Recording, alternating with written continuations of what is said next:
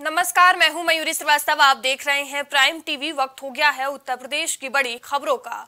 उत्तर प्रदेश के मुख्यमंत्री योगी आदित्यनाथ आज चैत्र नवरात्रि के शुभ अवसर पर बलरामपुर के देवी पाटन मंदिर पहुँचे, जहाँ उन्होंने देवी पाटन मंदिर में पूजा अर्चना की। इसके बाद उन्होंने गायों को चारा भी खिलाया। वहीं मंदिर में पूजा अर्चना करने के बाद योगी आदित्यनाथ वापस लखनऊ के लिए रवाना हो गए।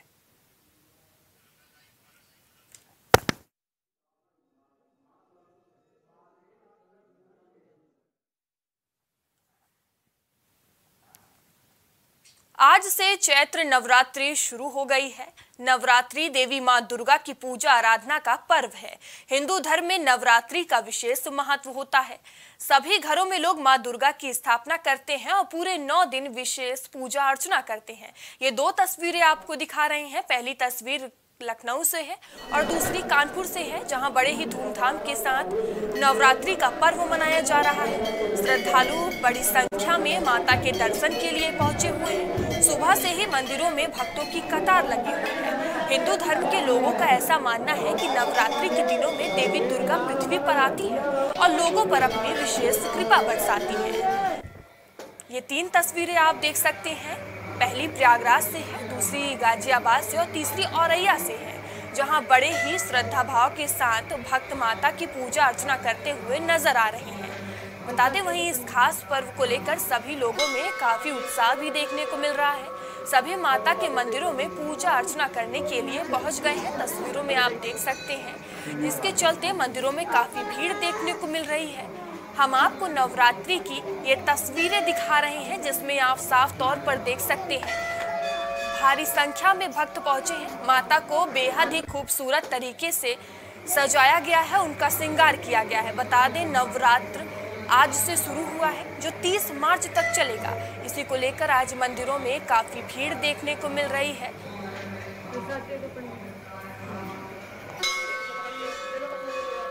माँ दुर्गा के दर्शन के लिए काफ़ी भीड़ लगी हुई है। ये तीन तस्वीरों में आप देख सकते हैं। प्रयागराज में बड़े ही धूमधाम से नवरात्रि का पर्व मनाया जा रहा है। दूसरी तस्वीर गाजियाबाद से है, जहाँ आप देख सकते हैं श्रद्धालुओं की भीड़ देखने को मिल रही है। और तीसरी तस्वीर औरैया से है। बता दें कि पूरे देश में नवरात्रि को लेकर भक्तों में उत्साह देखने को मिल रहा है। आज से चैत्र नवरात्रि शुरू हुई है, जो 30 मार्च तक चलेगी। बता दें, इसी को लेकर आज नवरात्र के पहले दिन मंदिरों में भक्तों का तांता लगा रहा। ये तीन तस्वीरों में आप साफ़ तौर पर देख सकते हैं, भारी संख्या में श्रद्धालु माता के दरबार पर पहुँचे हैं अपने। आप लखनऊ से भी तस्वीरें देख सकते हैं। और दूसरी तस्वीर कानपुर से पहली तस्वीर आपको लखनऊ से बता दें कि यहाँ देखिए भक्त भारी संख्या में पहुँचे हुए माता को बेहद ही खूबसूरत अंदाज में सजाया गया है, उनका श्रृंगार किया गया है। वहीं दूसरी तस्वीर कानपुर से है, जहाँ भारी संख्या में मंदिर परिसर में लोग नज़र आ रहे हैं। कतारों में खड़े हैं बता दें सुबह से ही मंदिरों में भक्तों की भीड़ देखने को मिल रही है। हिंदू धर्म के अनुसार नवरात्रि बेहद ही खास मानी जाती है। नवरात्रि लोगों का मानना है कि नवरात्रि के दिन माँ दुर्गा धरती पर आती है। इसी को लेकर नवरात्रि में माँ दुर्गा का अपने भक्तों पर खास आशीर्वाद होता है। खास कृपा देखने को मिलती है। इसी को लेकर भक्त आज बड़े ही श्रद्धा भाव के साथ माता की पूजा अर्चना करते हैं। पूरे देश में नवरात्रि को लेकर भक्तों में विशेष उत्साह दिख रहा है। बता दें कि नौ दिनों तक चलने वाले नवरात्रों में माँ दुर्गा के नौ रूपों की पूजा की जाती है। बता दें कि ऐसे में कई नेताओं ने ट्वीट कर नवरात्रि की बधाई दी है। हम कामना करने आए कि हमारा राष्ट्र, हमारा देश, हमारा प्रदेश का लोक कल्याण हो, जन जन का कल्याण हो, माँ शक्ति प्रदान करे, ताकि आने वाले दो तक भारत विश्व की अगुवाई करने वाला देश बने। सर्व शक्तिशाली देश बने और सभी लोक कल्याणकारी योजनाओं के साथ साथ सभी निरोगी रहें, शक्तिशाली रहें और लोग, लोगों के जीवन में लोक हित की भावना पैदा हो। सभी का कल्याण हो शक्ति प्रदान हो, खुशहाली आए, संपन्नता आए, सभी का स्वास्थ्य अच्छा रहे, ये माँ के चरणों में प्रार्थना करने नरेंद्र मोदी ने ट्वीट कर सभी देशवासियों को नवरात्रि की अत्यंत शुभकामनाएँ दी। मुख्यमंत्री योगी आदित्यनाथ ने ट्वीट कर समेत देशवासियों को नवरात्रि की शुभकामनाएँ दी। उन्होंने कहा, नव विक्रम संवत 2080 की सभी प्रदेशवासियों को हार्दिक बधाई एवं शुभकामनाएँ। सपा अध्यक्ष अखिलेश यादव ने सभी देशवासियों को चैत्र नवरात्रि के मंगल कामना करते हुए ट्वीट किया। उन्होंने कहा कि परम पावन चैत्र नवरात्रि की शुभकामनाएँ सब पर माँ की अनुकंपा बनी रहे। कांग्रेस नेत्री प्रियंका गांधी वाड्रा ने ट्वीट कर सभी देशवासियों को शक्ति स्वरूपा माँ दुर्गा की आराधना के पावन पर्व पर चैत्र नवरात्रि की हार्दिक शुभकामनाएँ दी। सपा नेता शिवपाल सिंह ने भी ट्वीट किया और कहा कि माँ शक्ति की उपासना का पवित्र पर्व चैत्र नवरात्र अपने लक्ष्य के प्रति साधना और संयम के समन्वय से संकल्पित तो होने का माध्यम है। साथ ही चैत्र नवरात्र की सभी प्रदेशवासियों को हार्दिक शुभकामनाएँ दी। आप देख सकते हैं योगी आदित्यनाथ ने नवरात्र के अवसर पर ट्वीट किया है। वहीं पीएम नरेंद्र मोदी ने भी ट्वीट किया। उन्होंने लिखा नवरात्रि की आप सभी को अनंत शुभकामनाएँ श्रद्धा और भक्ति का पर आ, वहीं प्रियंका गांधी वाड्रा ने भी ट्वीट किया है। सभी देशवासियों को शक्ति स्वरूपा माँ दुर्गा की आराधना के पावन पर्व की हार्दिक शुभकामनाएँ। बता दें मंदिरों में भक्तों की कतार लगी हुई है। नवरात्र के पावन अवसर पर भारी भीड़ देखने को मिल रही है। वहीं कई राजनीतिक दल ने ट्वीट कर नवरात्र के अवसर पर शुभकामनाएँ दी हैं।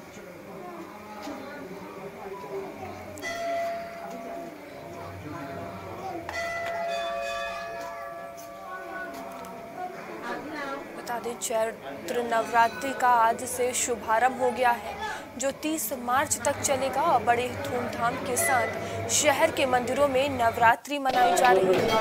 तस्वीरों में आप देख सकते हैं, ये दो तस्वीरें हैं आपकी स्क्रीन पर। पहली तस्वीर लखनऊ से और दूसरी तस्वीर कानपुर से है, जहाँ माँ दुर्गा के दर्शन के लिए मंदिर में भक्त पहुँचे हुए हैं। लखनऊ से आप तस्वीरों में देख सकते हैं।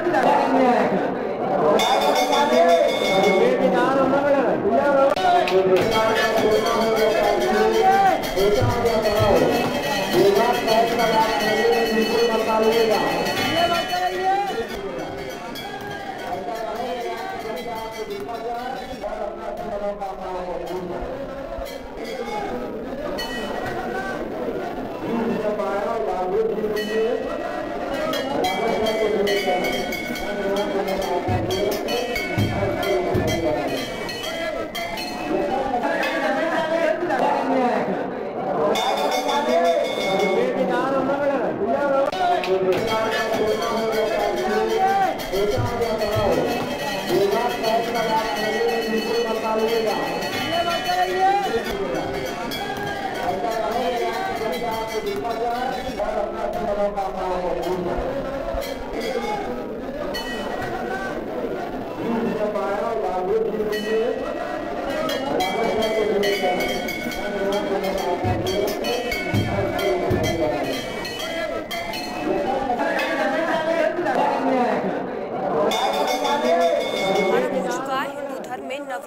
का विशेष महत्व होता है। सभी घरों में लोग माँ दुर्गा की स्थापना करते हैं और पूरे नौ दिन विशेष पूजा अर्चना करते हैं। इसके साथ ही आज हिंदू नववर्ष का भी प्रारंभ हो गया है। बता दें, प्रतिपदा स्थिति को गुड़ी पुड़वा के रूप में मनाया जाता है। वहीं इस त्योहारों को लेकर कांग्रेस नेता राहुल गांधी ने ट्वीट किया है। बता दें कि पूरे देश में नवरात्रि का पर्व बड़े ही धूमधाम के साथ मनाया जा रहा है।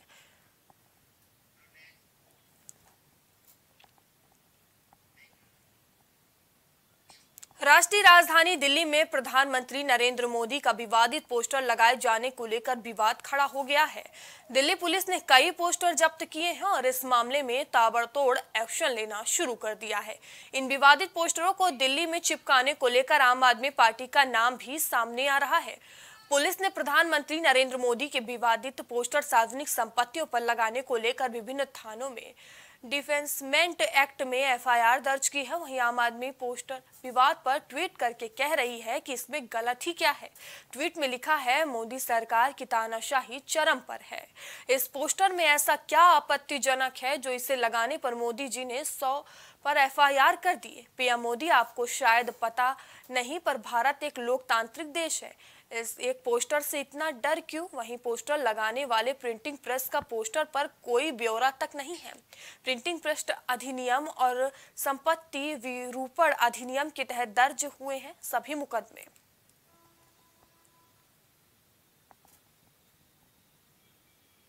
बता दें, दिल्ली में पीएम मोदी के विवादित पोस्टर लगे हैं और इस खबर पर अधिक जानकारी के साथ हमारी संवाददाता सुहानी हमसे जुड़ेंगी। सुहानी, दिल्ली में पीएम मोदी के विवादित पोस्टर लगे हैं। क्या कुछ ये पूरा मामला है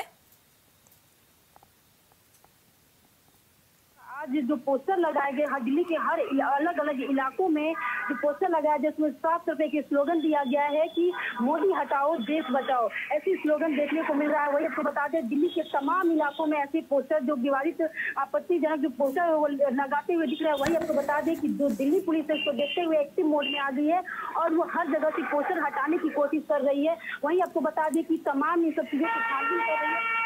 क्वेश्चन में ये है यहाँ पे ना कोई संपादक का नाम है ना कोई प्रिंटिंग प्रेस के नाम दिया गया है। और वही यही कहा जाता है कि कोई भी पोस्टर लगाते हैं प्रिंटिंग प्रेस का नाम होता है लेकिन इसमें कुछ नहीं है।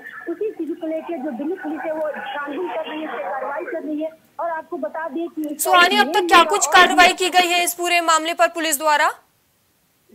जी जी मैं आपको बता दें कि इसमें जो दिल्ली पुलिस है, वो काफ़ी एक्टिव मोड में जब से उन्होंने देखा है कि दिल्ली के अलग अलग इलाकों में जो पोस्टर लगाया गया है, उस पर कार्रवाई कर रही है, इसमें सौ लोगों की गिरफ़्तार, एफ़ आई आर दर्ज हुआ है और इसमें छह लोगों का गिरफ़्तार भी किया गया है। वैसे दो प्रिंटिंग प्रेस के मालिक भी इसमें शामिल है वही आपको बता दें कि इसमें जो देखा गया है जब ये सफ़ाई के बाद रात्रि में जब देखा गया कि जो ये वैन निकला जो पोस्टर सहित जो वैन था वो आम आदमी पार्टी के कार्यालय से निकलते हुए दिखा है। तो तमाम तरह से जो पुलिस प्रयास लगा रही है कि कहीं ना कहीं ये आम आदमी पार्टी ये कर सकती है बातें। वही आपको बता दें कि आम आदमी पार्टी आज उन्होंने ट्वीट करके भी लिखा है कि आखिर इस पोस्टर में क्या ऐसे आपत्तिजनक है जिसे मोदी जी डर गए और उन्होंने उन्होंने सौ एफ़ आई आर दर्ज करवा दिया वही छह लोग गिरफ़्तार कर दिया। ऐसी तमाम आम आदमी पार्टी अपनी प्रतिक्रियाएँ दे रही है।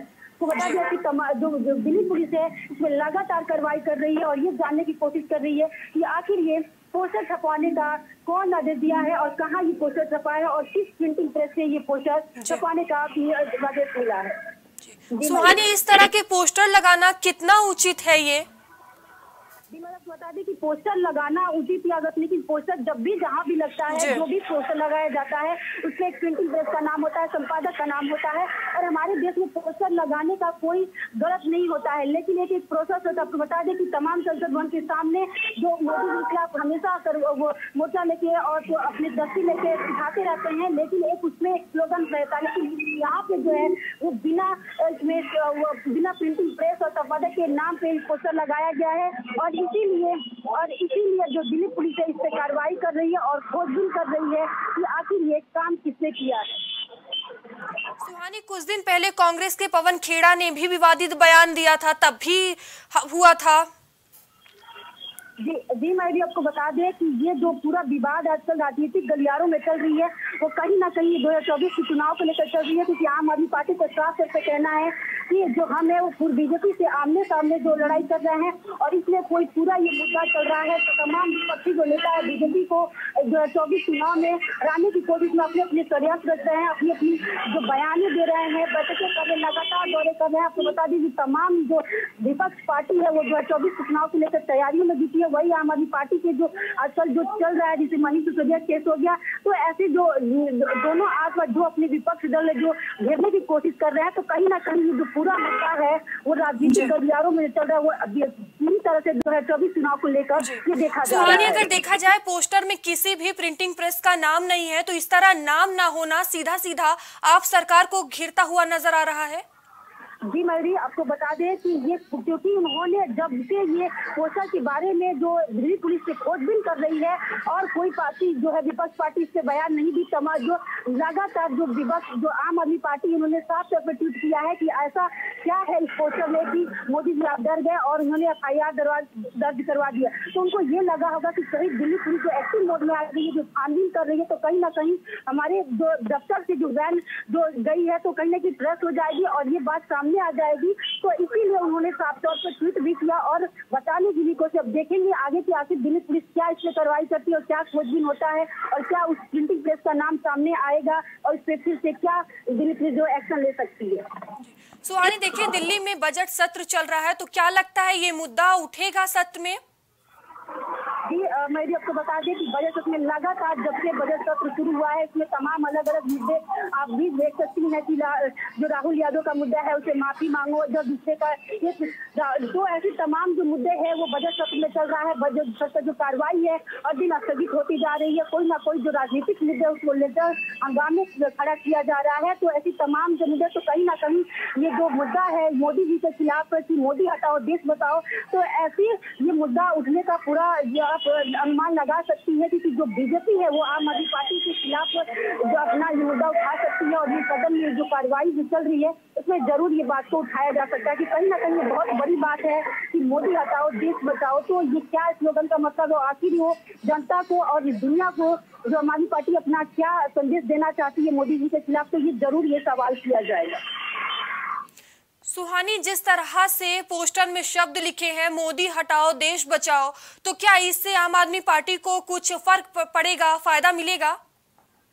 जी मैं भी आपको बता दें कि अगर बातों से अगर कोई फ़र्क पड़ता राजनीतिक गलियारों में तो कहा जाता है, लेकिन आपको बता दें, विपक्ष काम है हमेशा अपने विपक्ष के खिलाफ कुछ ना कुछ स्लोगन देना, उसके विरोध बोलना तो ऐसी तमाम जो पार्टियाँ हैं, वो अपने लिए एक स्लोगन देती रहती है और ये मोदी हटाओ, देश बचाओ, ये कहीं ना कहीं आम आदमी पार्टी जो एक, जो दिल्ली सरकार को, जो एक संदेश देना चाहती है दिल्ली वासियों को कि मोदी जी मोदी को हटाओ और देश बचाओ तो जो ये स्लोगन है कुछ होगा नहीं, लेकिन पूरा देश को दिखाना चाहती है, दुनिया को दिखाना चाहती है कि जो मोदी जी हैं, वो कहीं ना कहीं हमारे जो देश के लिए सही नहीं है और ये आप इस स्लोगन से आप ये देख सकते हो कि मोदी हटाओ देश बचाओ तो ऐसे स्लोगन जो आम आदमी पार्टी अपनी तरफ़ से दुनिया को दिखाना चाहती है। सुहानी देखें केजरीवाल लोकतंत्र की बात करते हैं। अभी अभी भी उन्होंने ट्वीट कर लोकतंत्र की बात की है। तो क्या वो इसको लोकतंत्र से जोड़कर देख रहे हैं? बता दें कि जो आम आदमी पार्टी के जो राष्ट्रीय संयोजक है केजरीवाल उन्होंने साफ़ से उन्होंने कहा है कि मोदी जी आपको डर क्यों गया क्योंकि सौ लोग का प्रयास दे छह लोग गिरफ़्तार कर दिए, क्योंकि हमारा देश लोकतांत्रिक देश है और कहीं ये देश जो डरने वाला नहीं है। क्या इस स्लोगन में ऐसी क्या बात है कि सिर्फ़ स्लोगन में लिखा है, मोदी हटाओ जिससे इससे आप इतना डर क्यों तो उनको साफ़ से ये कहना है कि लोकतांत्रिक देश, हम कुछ भी बोल सकते हैं, लेकिन आप बोल सकते हैं, लेकिन उससे एक कायदे कानून के साथ बोल सकते हैं पोस्टर लगाना है तो उस पर एक प्रिंटिंग प्रेस का नाम होता है, लेकिन इसे साफ़ तौर पर एक गलत तरीके से दिख रहा है तो इसलिए इसलिए एफ़ दर्ज हुआ है, और कहीं ना कहीं जो ये जो आदेश देना चाहते हैं, जो दुनिया को दिखाना चाहते हैं, वो एक गलत मैसेज की तरफ़ से जा रहा है, क्योंकि हमारा देश लोकतांत्रिक देश है, लेकिन हर तरह के कानून के साथ और संविधान के साथ हम अपना चलते हैं तो इसलिए ये कहीं ना कहीं गलत संदेश जा रहा है। जी, धन्यवाद सुहानी, तमाम जानकारियों के लिए। आपको बता दें, दिल्ली में पीएम मोदी के विवादित पोस्टर लगाए गए हैं। वहीं पुलिस का लगातार सर्च ऑपरेशन जारी है। इसमें दर्जनों एफआईआर की गई हैं। पुलिस ने इसमें बड़ा एक्शन किया है और छह लोगों को गिरफ़्तार भी किया है।